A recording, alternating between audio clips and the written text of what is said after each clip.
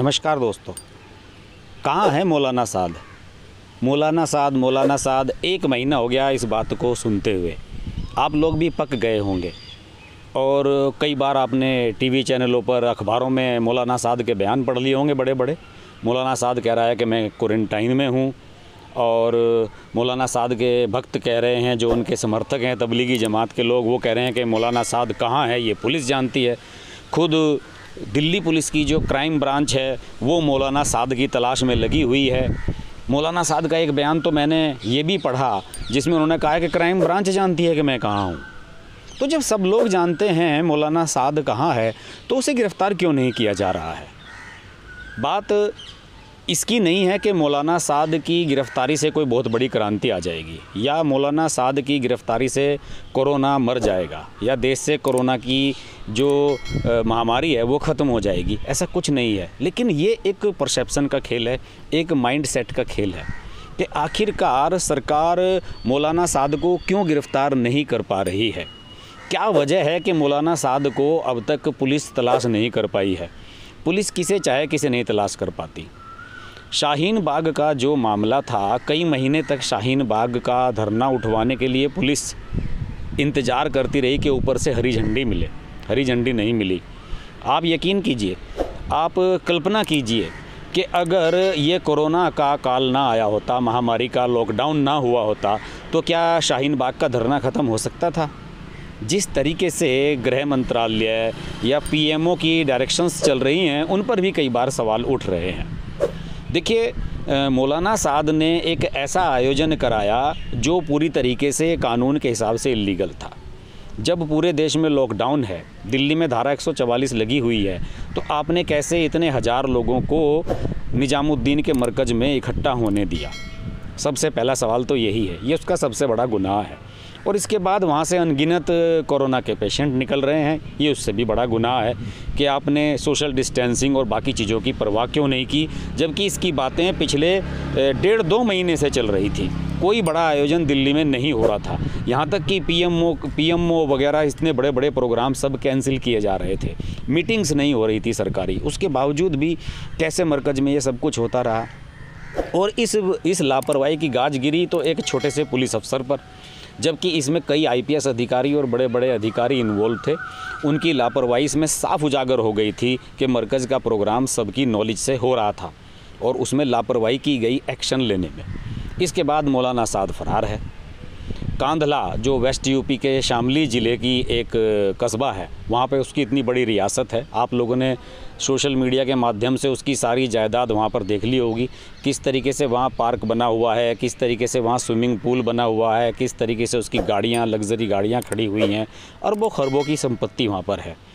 वहाँ पर पुलिस जाती है, दिल्ली पुलिस की क्राइम ब्रांच जाती है, वहाँ पर रेड करके आती है, नोटिस चिपका के आती है, लेकिन फिर भी मिलता नहीं है मौलाना साध मौलाना साद ना हो गया, ओसामा बिन लादिन हो गया। क्यों नहीं पकड़ पा रही है पुलिस इसको? वजह क्या है इसके पीछे? अभी इस पर तो हद बात ये हो गई कि आज तक टीवी चैनल ने मौलाना साद का इंटरव्यू ले लिया। अभी कल आपने देखा होगा, वीडियो उसका चल रहा था। उधर ऑडियो प्ले किया जा रहा था कि आज तक के साथ मौलाना साद बातचीत कर रहा था। बताइए, क्या आप मौलाना साद का मोबाइल भी इंटरसेप्ट नहीं कर पा रहे हैं? मतलब पत्रकार उससे बात कर ले रहे हैं और पुलिस को हाथ नहीं आ रहा है। हद की बात है। ये तो बिल्कुल एकदम मज़ाक की बात है। इस पर पुलिस की कार्रवाई पर भी सवाल उठते हैं, सरकार की नीयत पर भी सवाल उठते हैं। एक पुलिस अधिकारी से मेरी बात हो रही थी। उसने अपना नाम न कोट करने की शर्त पर मुझे ये बताया है। उसका कहना है कि अभी होम मिनिस्ट्री की तरफ़ से ऐसी कोई डायरेक्शन ही नहीं है। मौलाना साद को गिरफ़्तार किया जाए या नहीं। एक सवाल और भी है कि क्या वो मौलाना साद गिरफ्तारी में है? पुलिस ने उसे अब तक अरेस्ट किया हुआ है और अरेस्ट शो नहीं किया जा रहा है, ये भी एक बहुत बड़ा सवाल है। और जानबूझकर ऐसा किया जा रहा है। क्यों किया जा रहा है? सरकार को लगता है कि कहीं इससे तनाव न फैल जाए। रमज़ान का महीना शुरू हो चुका है और सरकार के सामने सबसे बड़ी समस्या है कि किसी भी तरीके से बड़े लेवल पर नमाज़ ना हो लोग बाज़ार में ना निकलें भीड़ भाड़ ना हो, तनाव का माहौल ना हो संघर्ष की स्थिति ना आए, इस स्थिति से सरकार बचना चाहती है। अभी सरकार एक महीना ऐसे ही निकालना चाहती है। अगर सूत्रों की माने तो अभी जब तक रमज़ान का महीना है, मुझे नहीं लगता कि मौलाना साद को अरेस्ट किया जाएगा। जी, बिल्कुल। क्योंकि सरकार को, प्रशासन को सेंट्रल गवर्नमेंट को ये लग रहा है कि इससे कहीं साद के जो समर्थक हैं वो भड़क ना जाएँ। पहले से ही तबलीगी जमात के जितने भी लोग कोरोना के पेशेंट हैं, वो वैसे ही नाक में दम किए हुए हैं। कोई थूक दे रहा है, कोई स्टाफ के साथ बदतमीजी कर रहा है, कोई कुछ कर रहा है, बड़ी मुश्किल से चीज़ें कंट्रोल हो रही हैं। और सरकार ये नहीं चाहती है कि मौलाना साद को अरेस्ट करके इसमें जख्मों को और कुरेद दिया जाए या आग पर पेट्रोल डालने का काम किया जाए। शायद इंटेलिजेंस का कुछ इनपुट इस तरह से, इस तरीके का सरकार के पास आया है। इसी वजह से मौलाना साद को अभी तक अभयदान दिया गया है। वरना मेरी समझ से ये बार नहीं है, मेरी मेरी, मेरा तो मानना यही है कि मौलाना साद को अरेस्ट करके एक सख्त कार्रवाई का मैसेज दिया जाना चाहिए था। दूसरी ओर, तबलीगी जमात के लोगों से निपटने के लिए सरकार ने बहुत ही लचीला रवैया अपनाया है। उत्तर प्रदेश की योगी सरकार ने यह कहा था कि एक निर्धारित समय के बाद जो भी तबलीगी जमात का व्यक्ति कहीं से मिलेगा, उसे शरण देने वाले को और उस उस व्यक्ति के खिलाफ रासुका लगाई जाएगी, कड़ी कार्रवाई की जाएगी। लेकिन आज तक उत्तर प्रदेश में किसी के भी खिलाफ रासुका नहीं लगाई गई है।